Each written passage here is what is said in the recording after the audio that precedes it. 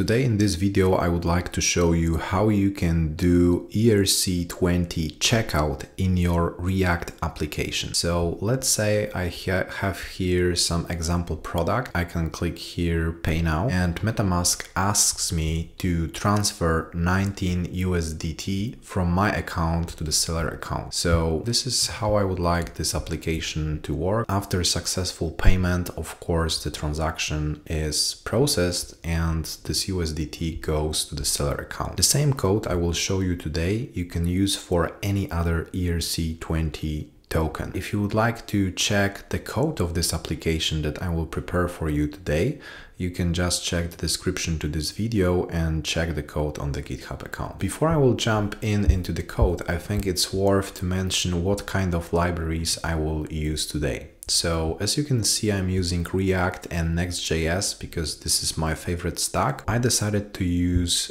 WAGMI and Viem.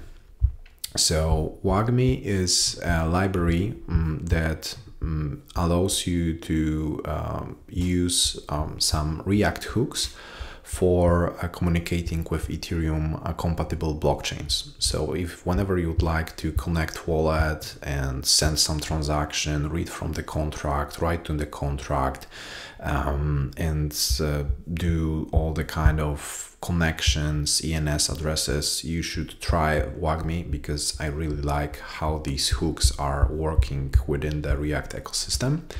And another library is Viem, something like Ethers or Web3.js, but I think it's just more modern and the, the documentation is a bit better than for Ethers and it's lightweight, modular. So I highly recommend you to try these libraries. So um, before before you start um, preparing this application, just check out the latest WAGMI documentation and follow the steps here. All you have to do is uh, install some npm packages so for example, you can uh, install WAGMI Viem and TanStack React Query. React Query is used by WAGMI behind the hood for storing queries. Um, so you just have to install that. Okay, so first we have to come up with configuration for WAGMI. I already installed uh, npm packages, so I'm good to go. If you um, are programming with me, just make sure that you install the Viem, WAGMI, and of course you have React and Next.js if you like already set up. So I will create here a config folder and inside I will just create a new file called wagmi.ts inside this uh, file and now we have to specify here the basic configuration of wagmi so first of all, I will import HTTP and create config uh, function from WAGMI core. And then I will import the network that I would like to use. Today I will just prepare a testnet connection. So I will import Sepolia, which is the name of the network that it's testnet for Ethereum. Of course, you can use here any EVM compatible um, blockchain. So if you like to use Polygon or Binance Smart Chain or anything else, you can just import it. And now I will also import an injected uh, cryptocurrency wallet from the connectors. Uh, connectors are something that lets you connect to the wallets. So you can use Wallet Connect, Web3Modal, and any other connectors um, like Safe, um, but to keep it simple, I will just use the injected MetaMask mode. And then I will just uh, call the create config function and configure it. So we'll use Sepolia, we'll use injected connector, and we'll use transports. Transports, it's something um, that lets us communicate with the certain blockchain network. So it's called JSON RPC. And uh, if you use HTTP function from WAGMI, it just uses the default JSON RPC for Sepolia. However, there's no problem if you would like to have the um, HTTP transport configured in your own way. So if you would like to use Alchemy, QuickNode, or anything other providers, then you are good to go. And um, then there's a last um, configuration property, which is stands for server-side rendering. I will use true because we'll use this configuration within the Next.js application. And if you don't have this attribute configured, then uh, you might have some weird hydration errors. So I'll just keep it that way. And now I can save this file and now it's time to create a provider so I will just create another file within the app folder. So I will call it providers.tsx. And inside this file, I have to import the WAGMI provider query client, which is used by the WAGMI behind the scenes. And of course, our config that I just prepared in the config directory. Here I'm using this use client directive because uh, this is an Next.js 14 where you have server and client components and the providers it's a client component. And then we have the um, regular uh, provider uh, React component which takes a children prop and wraps the whole children within the query client provider and the WAGMI provider.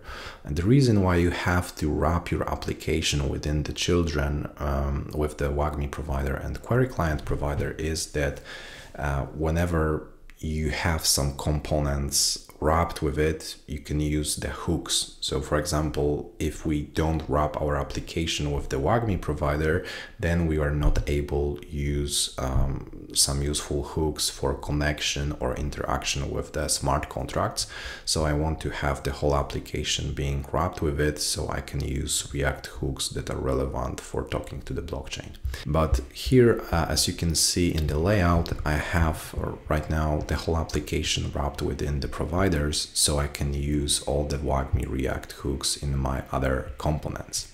Okay, so now uh, let's take a look how to implement the Pay Now button. Here I have a regular page where I have a product card component. Here nothing fancy happens. It's as you can see, it's a regular um, React component that takes a product as an argument uh, as a prop. In your case, you might have some product list and fetch some products from the external API or database. But here, just to keep this example simple, I have a regular product card component with some basic styling used Tailwind. And here inside this component, I have another component which is called pay button and it takes a price as a prop. In your case, it can be the same or you can have some card or you can pass here some product ID or the whole product object. But again, just to keep everything simple, it's just a simple pay button uh, component. And inside this component, as you can see right now, we don't have any Web3 stuff. It's just a pay button that has a handle payment asynchronous function, which is called if you click on the button, then we have some basic um, state management. So until um, the payment is completed, um, we have some different wording like pay now, confirming. We have a message for completed payment. We have the errors um, for displaying some problems with our uh, button and then if we click, we have the handle payment function that actually would be responsible for talking to our cryptocurrency wallet. So first of all, I will use import from WAGMI just to take some stuff that we will need. The first hook that I will try is use connect then use account and then use write contract. So use connect is a hook that gives us some function that allow us to connect the cryptocurrency wallet. Then we have a use account uh, hook that allows us to fetch current uh, wallet address so we know which address our customer is using. And then finally, we have a hook that will let us write to the contract because we want to force our customer to pay using ERC20 token, which is a USDT in this example. And of course, whenever you move ERC20 from one place to another, you have to call the function, which is a transfer, which is actually calling the contract underneath. So that's why we would need this hook. And uh, then I will also import injected WAGMI connector because we would like to force the connection to the cryptocurrency wallet whenever somebody clicks handle the payment. And then the final import is Sepolia because I want to be sure that whenever we will touching the contract that we are actually connecting to the contract from specific chain ID because obviously you can connect to your application using different network and then your customer may try to interact with the wrong smart contract because of the network configuration.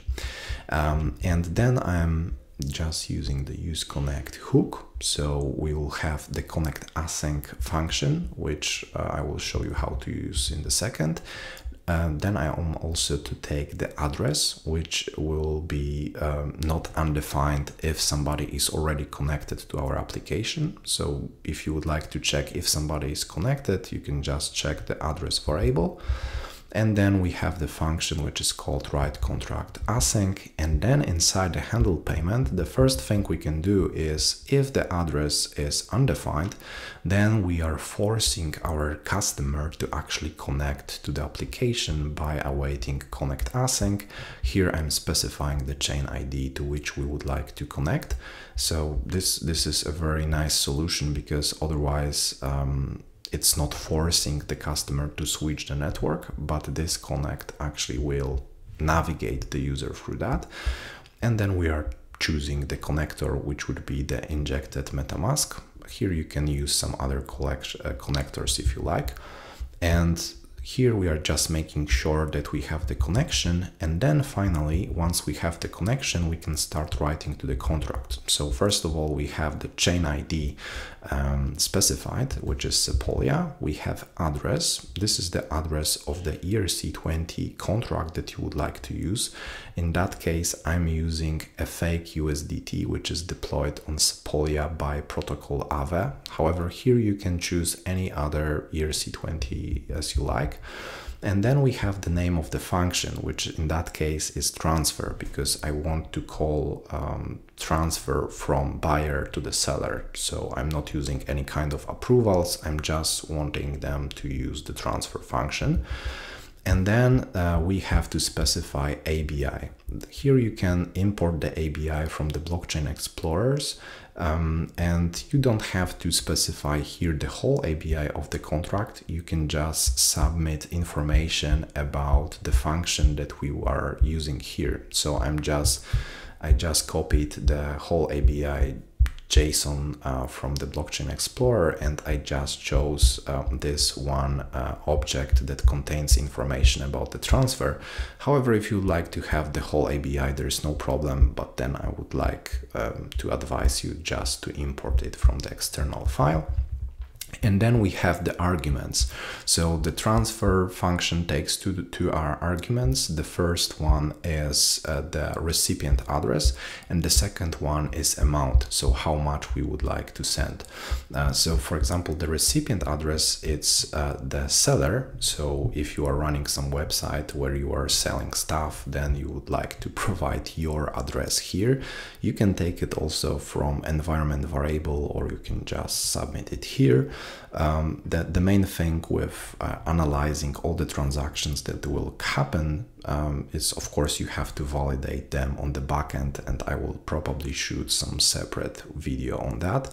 And then we have the second argument, which is the price. And in that uh, particular case, we have to multiply, uh, multiply the price uh, by one and six zeros because that's how much decimals the USDT ERC20 has. So if I would provide here just 19, which is the $90, of course it would be super small value value. So I have to um, multiply it by one uh, and six zeros just to be sure that it would be actually the $19.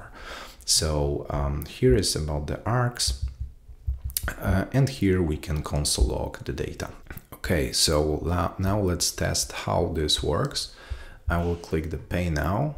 Uh, MetaMask is asking me first to connect with the page because I haven't done this already.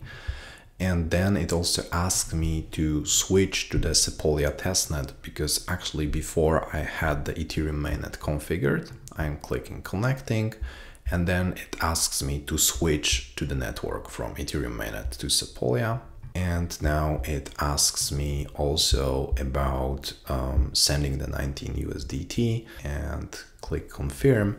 And now we have thank you for your payment. Inside the console log I also show the transaction hash. So in real application of course you can save this transaction hash and pass it to the backend so backend can validate the transaction and then try to deliver the product to the buyer. And now we can just paste the transaction here. And now as you can see, the transaction is success, it's confirmed. And here we have a transfer of the USDT, which is ERC20 token from my account to the seller account that is specified here in our arguments. So that's all for today. Um, if you like the video, subscribe to this channel and let me know in the comments what would you like to see in the future here. And also check the code of the whole application on the GitHub. And if you have any questions, just let me know in the comments. So see you in the next one.